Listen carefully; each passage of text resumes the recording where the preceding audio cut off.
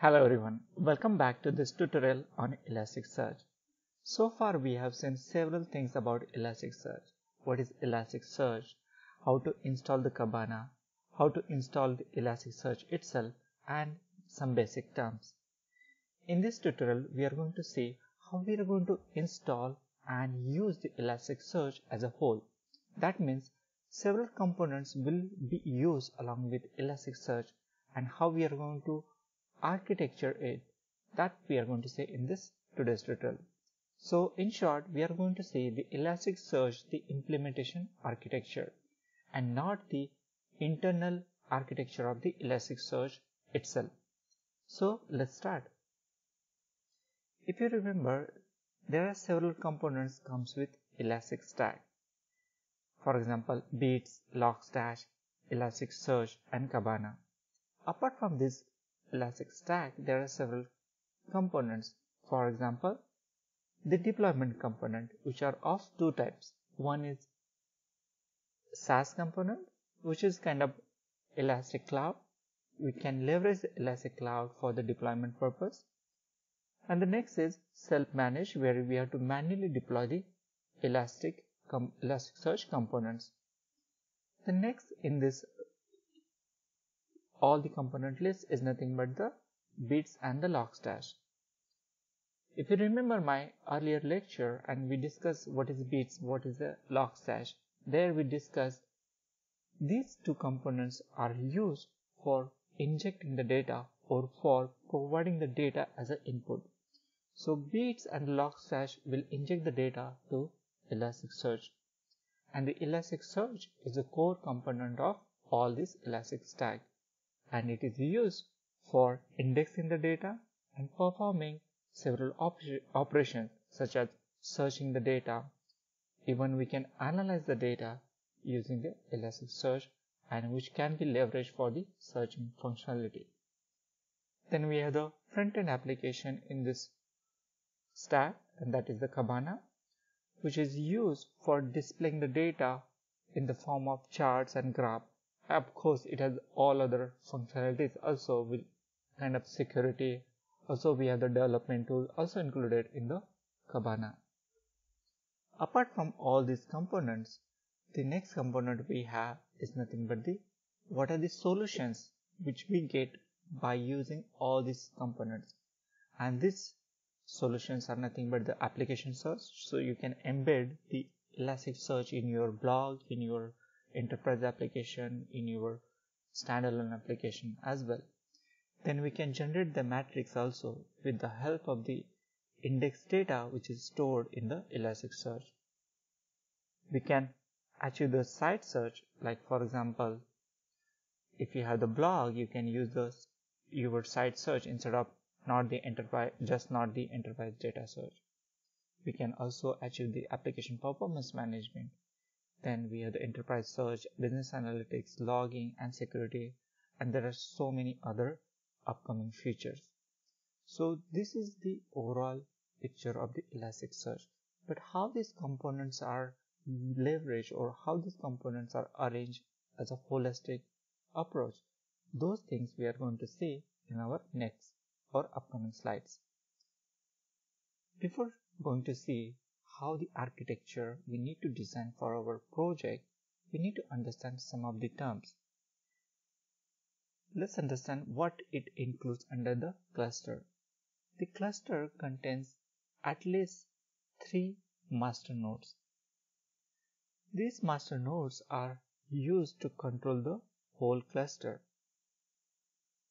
Having these three master nodes are used for brain splitting purpose. So that means if there are one of the need node to be survived, we need to have the odd number surviving. We cannot use 2 or 4 because it will create the race condition. We'll see in detail what is a brain split in a separate lecture but for now just understand we need to have the three master node and out of these three only one will be active at a given time. Then we have the data nodes. There are two types of data node. One is hot data node and the second is warm data node. Hot data node and warm data node these two are itself a big concept which we'll see in the separate lecture but here we just need to know these two types of nodes are used for holding the index data. These two types of node also used to carry out the data related operations such as searching, analyzing, etc. The next type of nodes which are present inside the cluster are nothing but the ingest nodes. As the name suggests, these are the nodes which are helpful to ingest the data to the Elasticsearch nodes or the Elasticsearch components.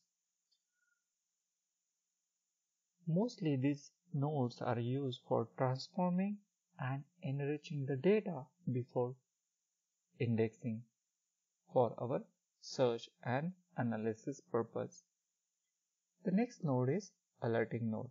As name suggests, these nodes are used for executing the alerting jobs. Next in the queue is nothing but the ML node or machine learning nodes. As we know, Elasticsearch supports the machine learning which is kind of future for us. Hence for that we need to also assign the new nodes and these ML nodes are used for executing the machine learning jobs. Apart from all these types of nodes, there is another type which is the final but important node is nothing but the coordinating nodes. It is used to route the requests to re respective nodes. It is also used for distributing the bulk indexing job so that we can achieve the better performance. Now let's not go into the more technical detail. Let's understand the architecture, how these components are arranged or how can we leverage all these components for achieving the better search functionality in your enterprise application. We'll start with the basic one. The basic architecture will look like this. The Beats on the left hand side will act as an input provider. You can use Filebeat or Winlogbeat. You can also use the Heartbeat or Metricbeat, even Packetbeat or Auditbeat based on your operate, operating system. Then the search input data will be pushed to the Elasticsearch where we'll have the different kind of nodes which we already saw in our previous slide and this Elasticsearch will perform indexing and will be ready for search operation. This data present in Elasticsearch can be shown on the application, front-end application such as Kibana. So this is very simple architecture where we are leveraging Beat, Elasticsearch and Kibana together.